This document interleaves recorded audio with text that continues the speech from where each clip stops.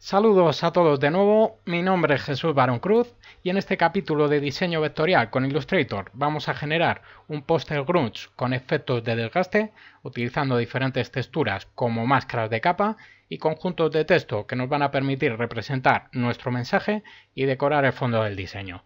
Así que empezamos generando un nuevo entorno de trabajo, nos vamos a ir a archivo nuevo, en mi caso voy a utilizar perfil imprimir y área de recorte A3 que nos da para un póster de tamaño pequeño mediano.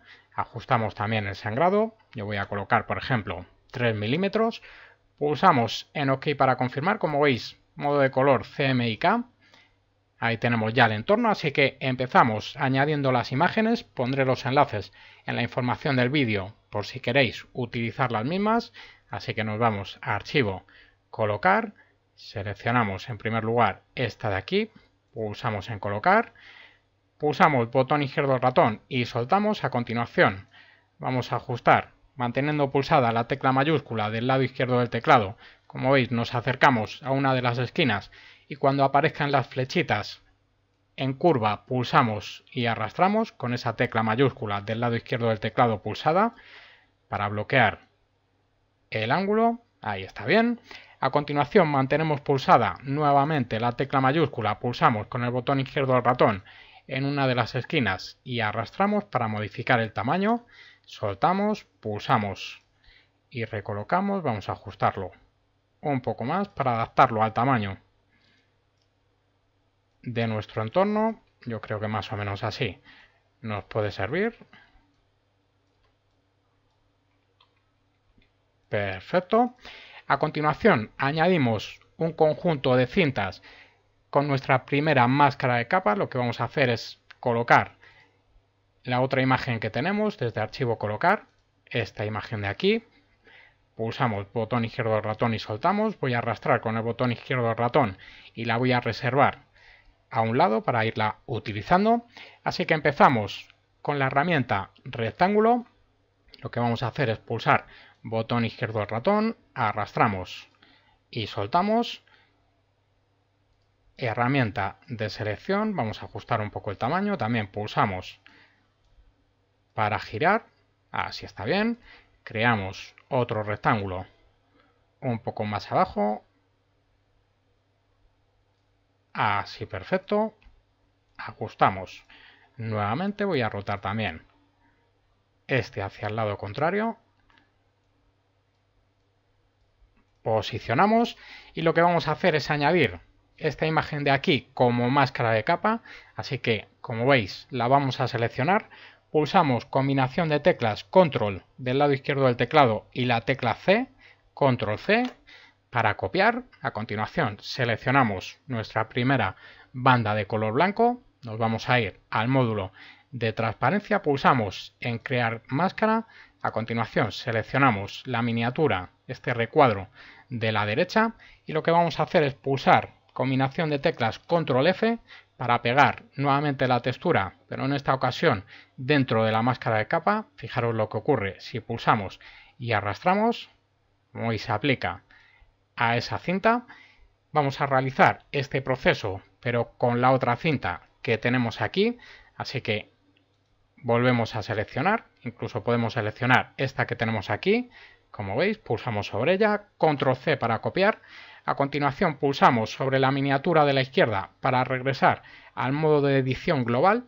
Seleccionamos esta otra cinta de aquí, pulsamos en crear máscara, seleccionamos la miniatura de la derecha, pulsamos control F para pegar, recolocamos para ajustar y ahí tenemos, como veis, nuestra nueva máscara. Seleccionamos la miniatura de la izquierda y ya tenemos las dos cintas que vamos a utilizar en esa parte superior.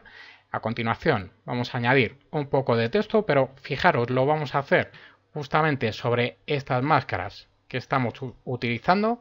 Así que seleccionamos el elemento de la parte superior. A continuación pulsamos sobre la miniatura de la derecha, seleccionamos la herramienta de texto, pulsamos botón izquierdo ratón y vamos a escribir, por ejemplo, voy a colocar esta frase. Fijaros que manteniendo pulsada la tecla mayúscula del lado izquierdo del teclado, pulsamos sobre una de las esquinas y podemos ajustar el tamaño de ese texto. Lo recolocamos, modificamos su rotación, ajustamos y a continuación lo que vamos a hacer es modificar el tipo de fuente. Vamos a seleccionar una un poco más natural. Por ejemplo, esta de aquí nos puede servir.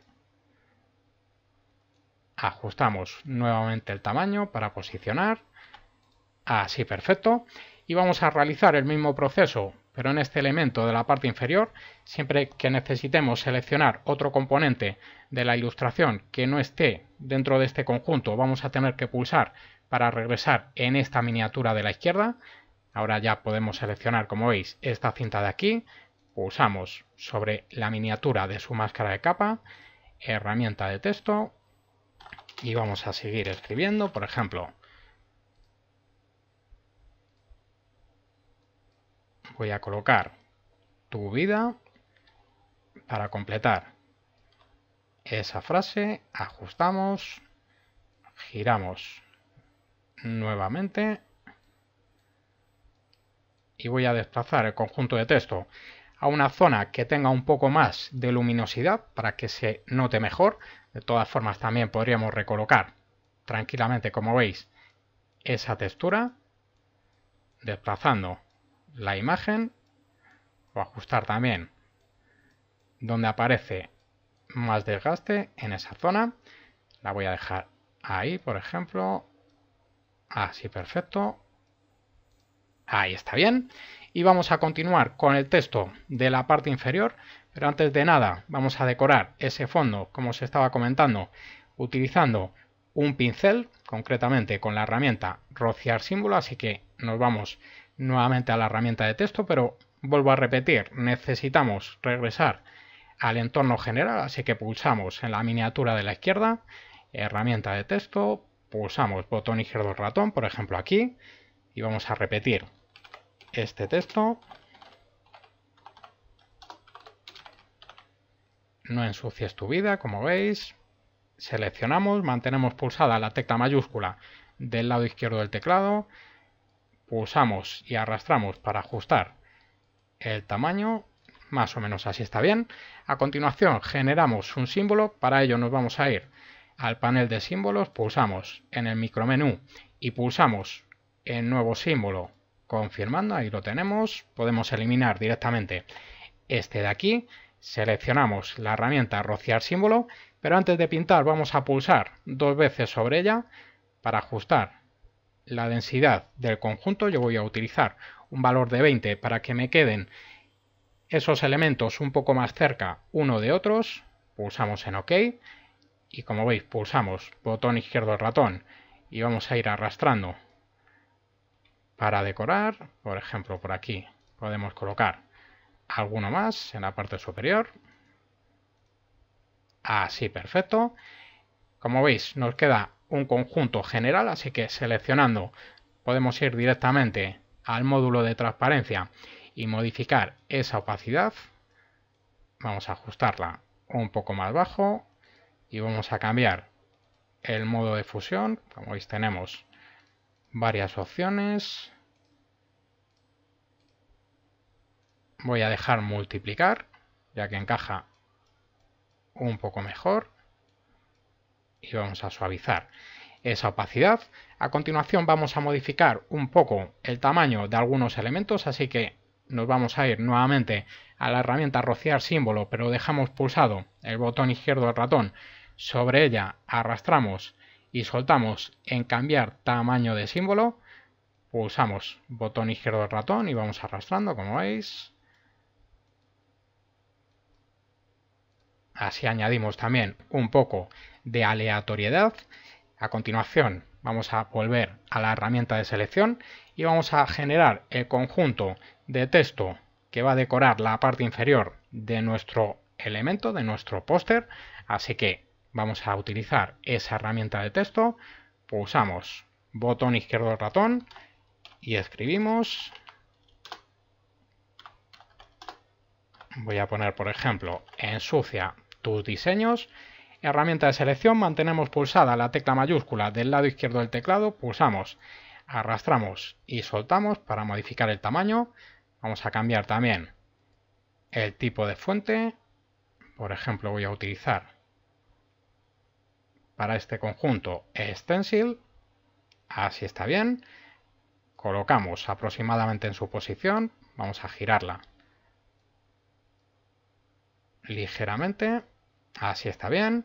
Ajustamos el tamaño de nuevo y a continuación vamos a transformar este conjunto en formas. Para ello, con el elemento seleccionado pulsamos en objeto expandir, pulsamos en confirmar. A continuación, objeto desagrupar y vamos a ir arrastrando las letras, como veis, cada una de ellas para descolocarlas en el entorno y así obtener una apariencia más irregular, que es lo que vamos buscando. Esta por aquí. Pulsamos y arrastramos con el botón izquierdo del ratón. También podéis utilizar las flechas del teclado. Así, perfecto. A continuación necesitamos volver a agrupar el conjunto, así que vamos a seleccionar, manteniendo pulsada la tecla mayúscula del lado izquierdo del teclado, vamos a ir pulsando en cada uno de estos caracteres